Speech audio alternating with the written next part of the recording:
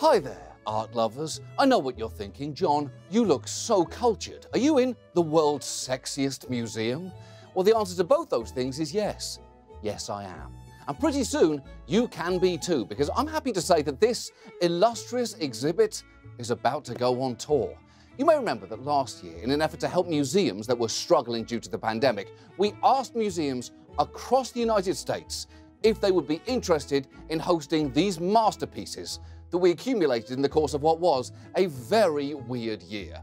Well, for some reason, many agreed. So over the next few months, our collection will be visiting exactly five museums, each of which, I'm happy to say, will receive a $10,000 donation from us and, as a bonus, will also donate another $10,000 to a food bank in their area. So, should you be interested in visiting our exhibit, what exactly will you see?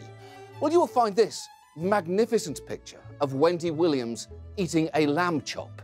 You'll also find this sad tie, painted by Judith Kudlow as part of a series exploring the absence of her husband Larry.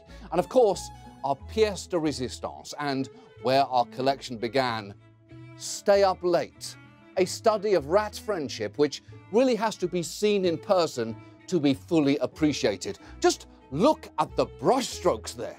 It's like if Monet had a furry period.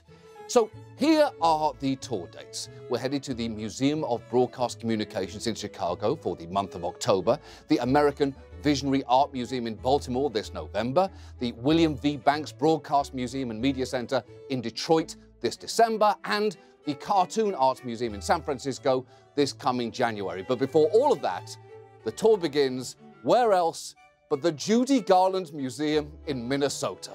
These works will be on view there in September, as I'm just going to assume Judy would have wanted. For more information, visit lwtgallery.com or John Oliver has your. Goodbye.